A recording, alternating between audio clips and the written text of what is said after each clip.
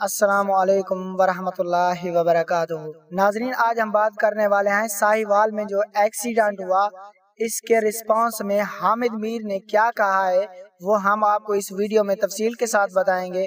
तो नाजरीन, अगर आपको हमारी वीडियो अच्छी लगे तो बर मेहरबानी, हमारे चैनल को सब्सक्राइब ज़रूर करें।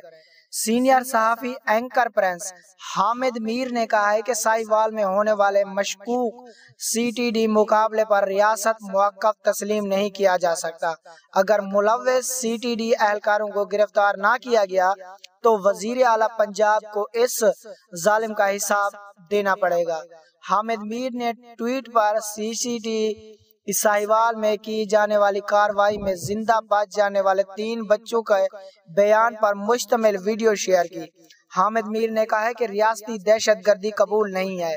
इस बच्चे की बात सुनने के बाद मुझे इसके वालदेन, बहन के सीसीडी हाथ जालमाना कत्ल पर किसी जेआईटी रिपोर्ट की ज़रूरत नहीं है। हामिद मीर ने कहा है कि वज़ीर अला पंजाब मुलव डी एहलकारों की फौरी गिरफ्तारी का हुक्म जारी करें। और अगर ऐसा नहीं करते तो इन्हें इस बरबरीत की कीमत चुकानी पड़ेगी।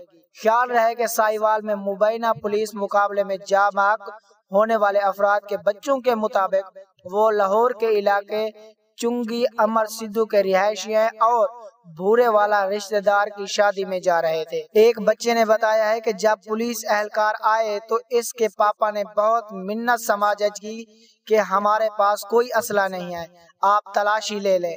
लेकिन पुलिस ने एक ना सुनी और वालदेन को गोलियाँ मार दी। तो नाजरीन, आपका इस बारे में क्या ख्याल है? नीचे कमेंट बॉक्स में अपनी कीमती राय का इजहार ज़रूर करें। अल्लाह हाफिज।